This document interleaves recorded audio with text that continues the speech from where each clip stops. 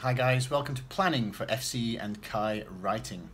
Now this is incredibly important. I've mentioned in a previous video that those who plan generally pass, and that is certainly the case in my experience.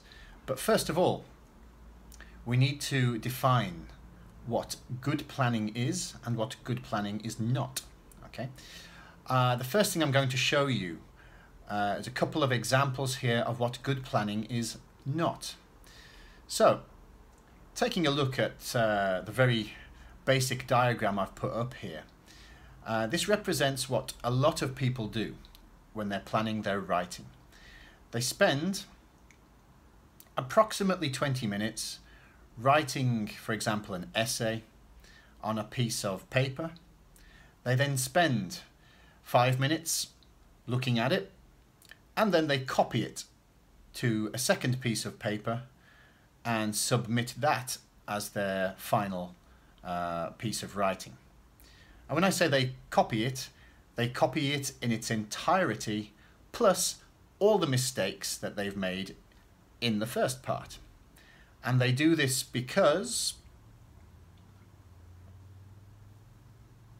uh, I really have no idea why they do it, actually. Um, because it's not a productive use of time. You're actually writing two bits of writing in the space of time for one. So it absolutely makes zero sense to me um, as to why people do that. And when you do, a lot of the time people run out of time because they're still trying to copy their uh, first essay to the second one. And it makes absolutely no sense. So, tip one for planning do not simply write an essay and then copy it to a second piece of paper. It's not a productive use of time.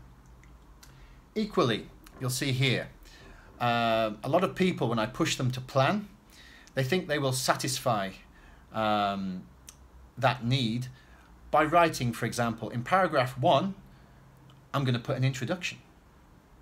In paragraph two, positives. Paragraph three, negatives. Paragraph four, conclusion. Again, this is not a plan. This is a list. A very general list that will not help you when you're writing. All right? So, just to quickly summarize, do not copy from one page to the other. It's a waste of time.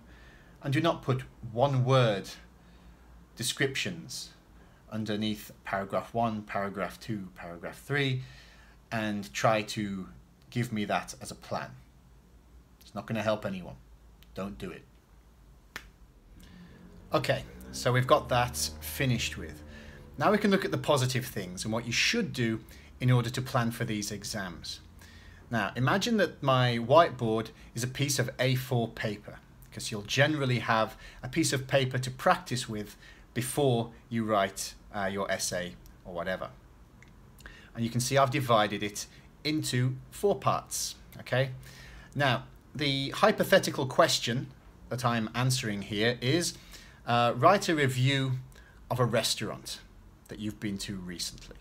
Okay, this could be one of the questions in your exam, um, or it could not, but I'm just showing you basically how to do the planning. All right. First thing you want to do is have a brainstorm. Think about the things, the vocabulary that you're going to need to use. Because look, when you're writing, that vocabulary will come in and it will go out. This will happen in your native language and even more in a second language. So when you have vocabulary come into your head before you're writing or during the actual exam, uh, when you're writing your, your piece, make notes of vocabulary as they come into your head, okay? For example, here in the restaurant, delicious, tasty, disgusting, um, to describe the food. Uh, rude, friendly, for the staff, lively for the atmosphere.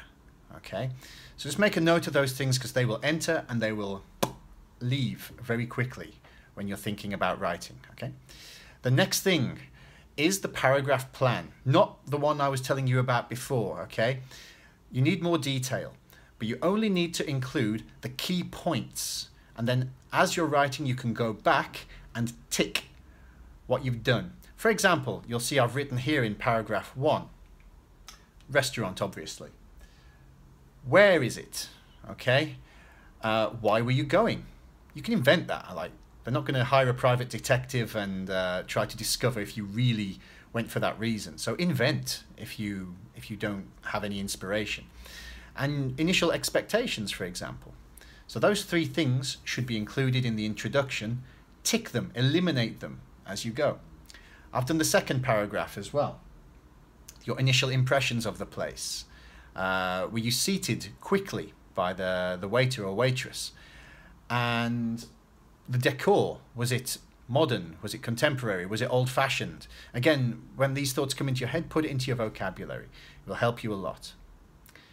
The third point you need to consider is grammar. Okay? Impossible for you to put all the grammar that you've studied in your course into one piece of writing or two pieces of writing. However, you can choose the ones that you uh, are more comfortable with, the ones that you are more confident using, and make a note of them to make sure that you include them in the writing. When you're writing, sometimes you just start and you finish, boom, hand it in, and you haven't thought, oh, I could use passive, I could use uh, a third conditional here. So a big part of planning is to tick and eliminate grammar points. When you put a passive sentence, eliminate it. You've done it. You put a third conditional, eliminate it. Okay? So this way you're building and you're including more and more advanced or intermediate structures to impress your examiner. The final part is the mark scheme. This is the criteria that they use to mark uh, the writings. Okay, uh, I've done another video which explained these, but very briefly. You've got content. So always think to yourself as you're writing your, your piece, is it relevant? Am I answering the question? If you do this and you refer back to your plan and ask yourself this question all the time, you are less likely to be distracted and to write things which are not relevant. So always refer to your plan. Communicative achievement. This is very important. Have you communicated clearly? Is it intelligible, the piece of writing that you are doing? Are you using the correct register? So formal, neutral, informal. Think very carefully when you're writing this because it's very easy to make mistakes. Organization. So paragraphs. Make sure to use paragraphs. It's so easy to get points in this just by using paragraphs or subheadings in reports and things. Really important to do that. Make sure your argument or your piece is structured in a logical sequence. So don't, for example, with a restaurant, don't write about the dessert and then go back and write about the, the main course. Makes no sense. Give it a logical sequence. You can do that by using a good paragraph plan, as we've done here. And finally is language. That's why I've included the grammar and the vocabulary. So in order to include relevant uh, higher level language, you might need to make a note of it on your plan. That way you can refer back to it when you need it. And you don't spend time sitting going, oh, what is, what do I need to think about? What's that word? Write it down. And that way you'll avoid frustration and getting lost later on. It's really, really very important. So this is a basic plan. And I don't think it's overly difficult to do this in the 10 or 15 minutes uh, before you start writing your principal part.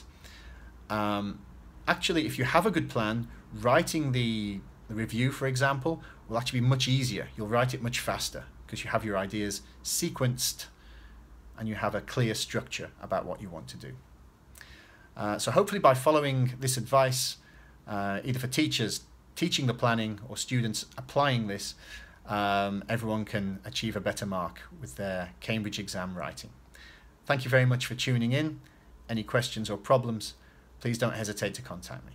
Thanks a lot.